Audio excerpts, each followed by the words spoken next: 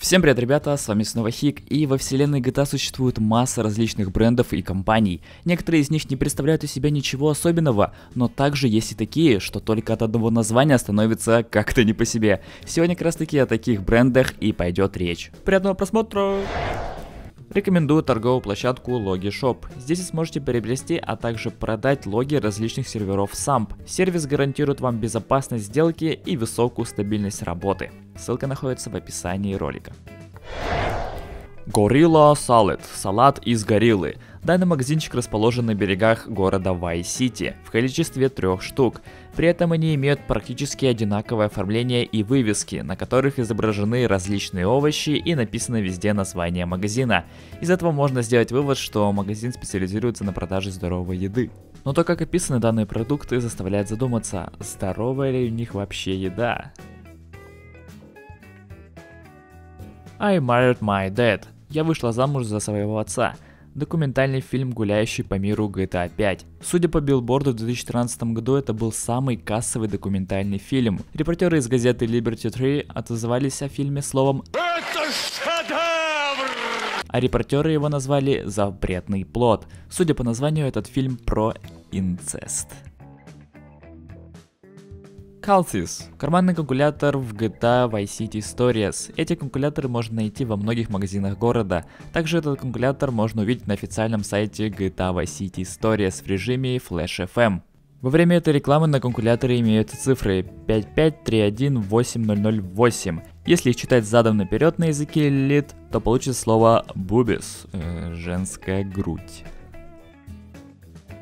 Дорматрон это тренажер для похудения в GTA 3. Хотя и само оборудование нигде не появляется, но довольно часто можно увидеть рекламу данного тренажера и даже инструкции к нему. Он работает во время сна, устанавливается на пользователя, связав его по рукам и ногам, и работает всю ночь, помогая сбросить вес. Лазла часто хвалит этот прибор на радио Chatterbox FM, да и сами Rockstar Games выделили настолько много внимания данному игровому продукту, что сделала даже сайт для компании, где вы можете посмотреть промо-ролик по этому тренажеру.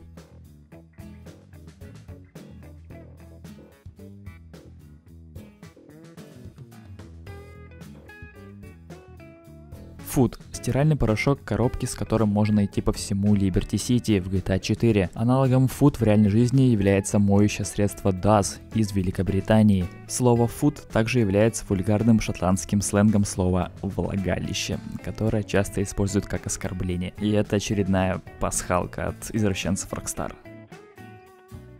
Cook – сыр соответствующей торговой марки в GTA Vice City Stories. Располагается на прилавках магазина Fiddle и Verdi. В одной из миссий под названием Say Cheese Ренни Весел Мейнер снимает рекламу сыра с участием Виктора. В конце этой рекламы звучит слоган Это все потому, что ей не хватает кука, то есть члена, пениса, как угодно.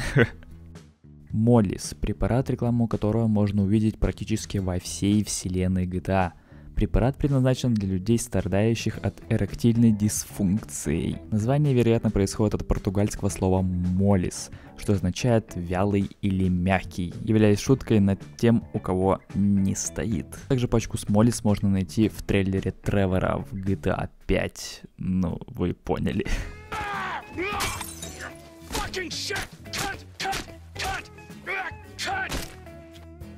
Rain – марка питьевой воды в GTA 4 и в GTA 5. Девиз компании Luditel. Это, походу, французский, я вообще не шарю, как это читается правильно. Если переводить на русский, вода с небес. Воду можно найти во всех киосках Чихуахуа Hot Dogs. Также они спонсируют теннисный корт Tennis Beach. Название бренда Rain, похоже, произошло от английского слова rain. Переводится как дождь что вместе с девизом дает понять, что эта вода всего лишь обычный дождь. Sumo Ear Blades. Дословно, если переводить, кровоточащие уши. Наушники гарнитуры марки Sumo, которые появляются в GTA Online. На обратной стороне коробки переведены технические характеристики наушников.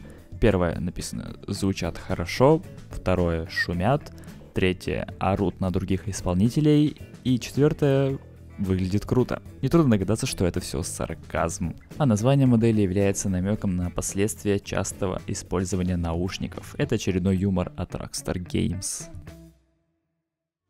Вот такой интересный ролик получился. Если вы из него узнали что-то новенькое, не скупитесь на лайк, подпишитесь на канал. Вам не сложно, а мне приятно. Также в комментариях пишите, какие еще странные бренды из вселенной GTA вы знаете. Будет очень интересно почитать. А с вами был Хик, всем покедова, услышимся в новом видеоролике.